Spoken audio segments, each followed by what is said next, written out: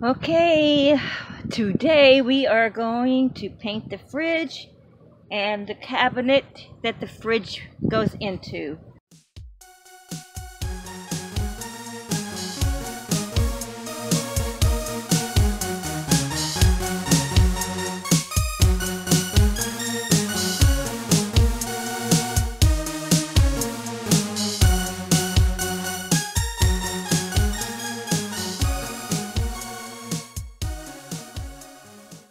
So what did I bring down with me?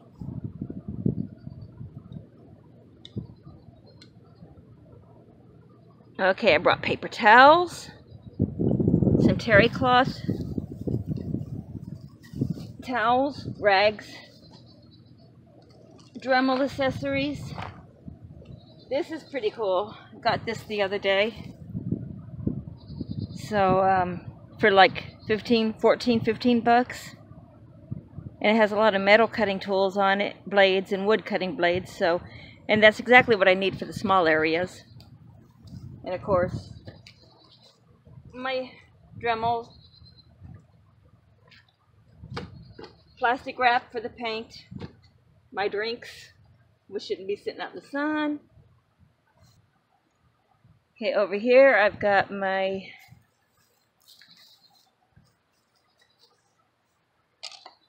paint that I'm going to paint the interior of the closet where the fridge goes, the cabinet. This is my refrigerator paint. It doesn't have a label on it, but I read it and it is for aluminum and metals. Um, I got it for cheap because the thing was torn off, but they still had it, so I got that for really cheap. Paint brushes, paint kit, and another paint roller thing and little plastic containers to put some of the paint in. So let's get to work.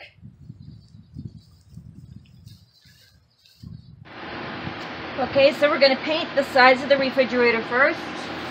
One of the things that I've always kept from previous painting jobs is this. So, oh, I better put some gloves on, right? Okay, it is 96 degrees in here, so it is a hot one today. But the paint is rated to use in the heat, so I'll be okay there.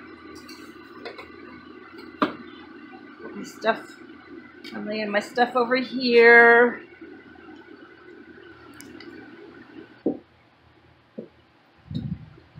Towels. It is too hot to put on a respirator. It is uh, 96 degrees in here. Let's just hope I don't get a case of heat rash again today. I might. Okay, so here I have my pan of paint. There I go again. My can of paint.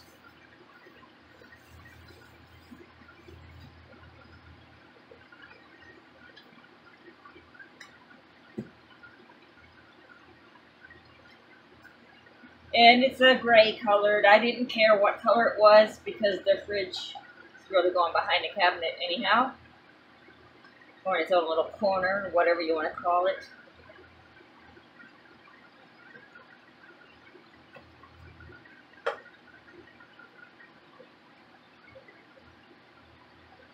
And I had it mixed two days ago.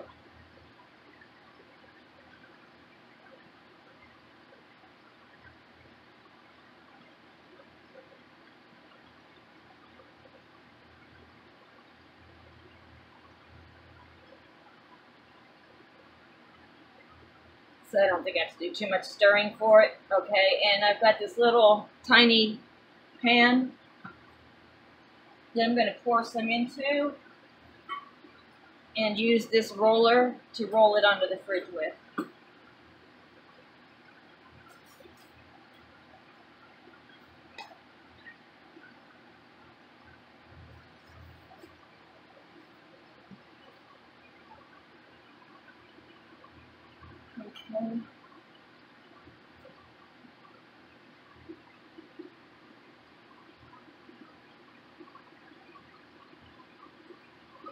going to do little bits at a time.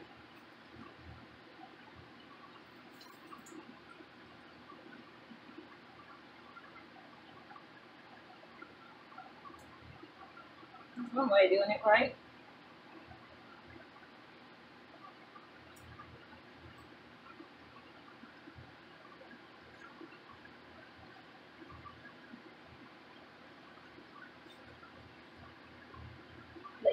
plastic. Lay the lid back on top. Keep it from drying. And start from back here. I'm not even worried about the floors because they're just wood floors. Big deal. So here we go, folks.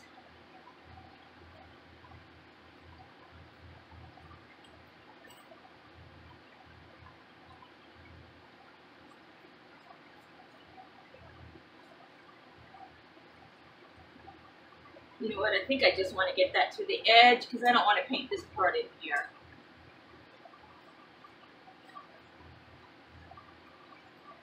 And in this weather, it should dry in about an hour. And um, I'll wait a couple hours and put the second coat on.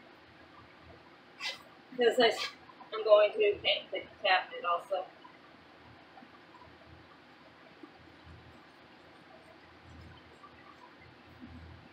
It's definitely going to a second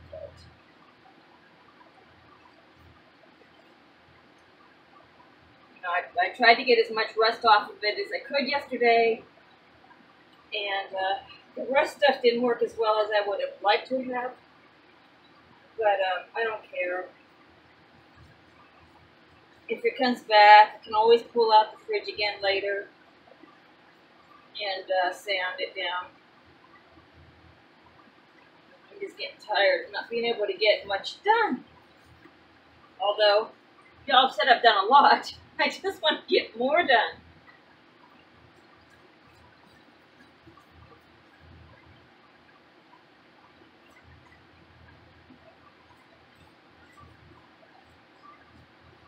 And it doesn't even, I don't even have to really worry about how this looks. Not going to be showing.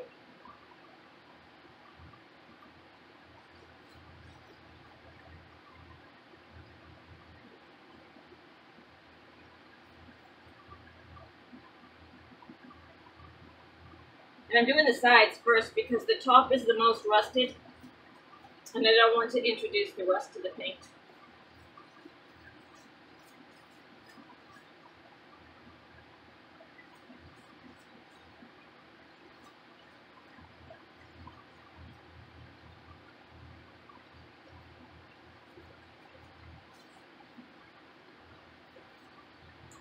So I will continue this and show you the finished product.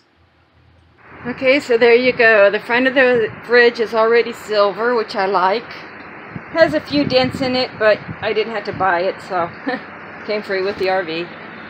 Um, yeah, I did mess up that a little bit along the edge, so I'll fix that when I do the second coat. So, and then here's the top. I'll go around the side.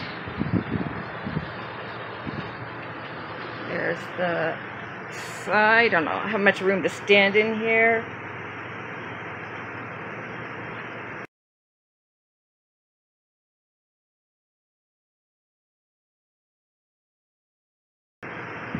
And then as far as the back goes, back here, I just kind of did around some of the edges.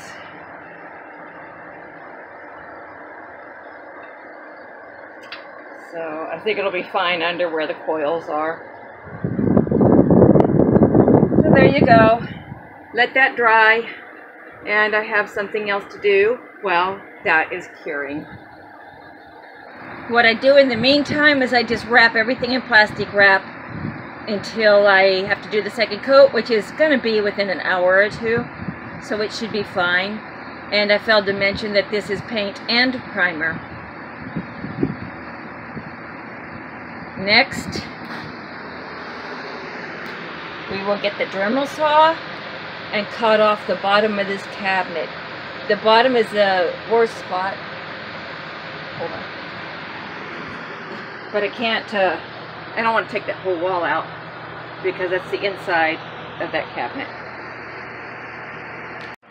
Okay, I have my uh, Dremel hooked up. I got these have a different type of tip. They lock on than what I was using before. So we'll see how that works. Put my other glove on. I got my mask on. I've got my uh, safety glasses on.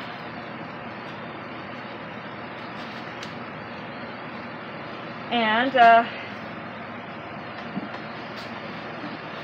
let's get to work over here.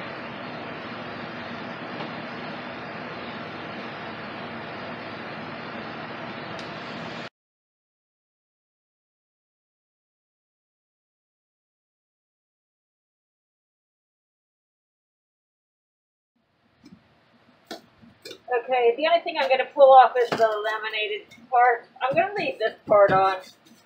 I don't want to weaken the structure. And it's not really molded. I just kind of wanted to get that off of there.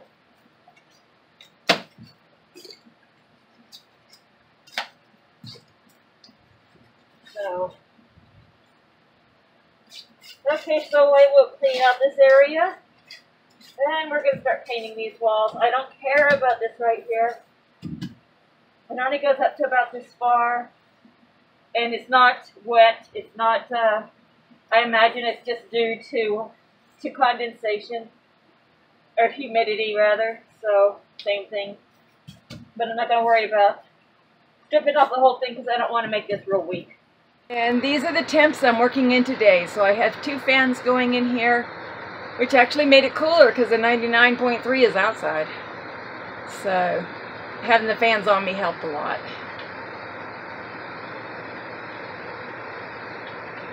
The refrigerator is already dry to the touch. I, oh, come on. I was planning on painting the closet, but I think I'll put the second coat on the fridge first. Okay. I went ahead and painted the inside of the cabinet with the same paint and the same roller because it's for it's a multi-purpose paint and it has primer in it. I don't know what those numbers mean so I decided to just leave them. But uh, and the back part I don't think I I'm not gonna waste the paint on it because I'm gonna put a layer of Reflectix over the entire thing anyhow. So why bother wasting the paint and here's the refrigerator. There you go. Looks good, doesn't it? Yep. Did a pretty good job, even if I say so myself, except for this right here. It looks kind of crappy. But I might just uh, scrape that off on the edges and just let it be. But that looks good, doesn't it? I uh, also painted, of course, this has an aluminum sheet over it. There's supposed to be a shelf going from here to here. So here. So I will cut a new piece of board, nail it on there, get a, a some wood and cut my own shelf. And up Above here is the refrigerator vent that vents out from the old propane fridge. So that'll be left alone. And I scrubbed this floor yesterday. Um, debating on whether to get some tiles and lay on there or not. I don't, I'm not too sure what to do about that. You know, you can go to the the um, Family Dollar store and get a pack, a pack of like 20 tiles for 10 bucks or something like that. So I might just go get some cheap, cheap tiles and do that. So anyhow, yep, we're done for the day. So one closet down. I see a little spot, but oh well, that's okay. One cabinet area down, and I got all the rest to do still. But, you know, one thing at a time. That's how it happens. Progress. One thing at a time.